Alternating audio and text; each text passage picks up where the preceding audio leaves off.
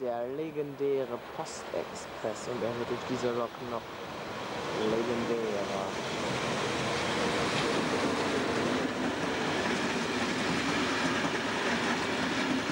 Vor allen Dingen wird er überholt.